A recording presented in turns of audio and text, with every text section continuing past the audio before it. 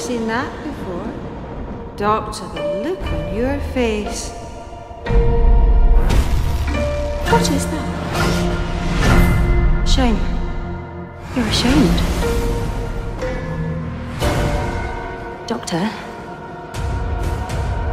what have you done?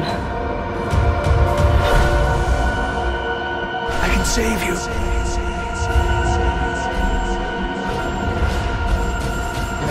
I did worse things than you could ever imagine. And when I close my eyes, I hear more screams than anyone could ever be able to count. But I strongly advise you to keep out of my way. You'll find that it's a very small universe when I'm angry with you.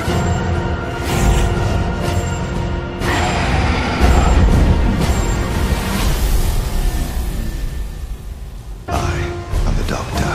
I'm coming to find you, stop.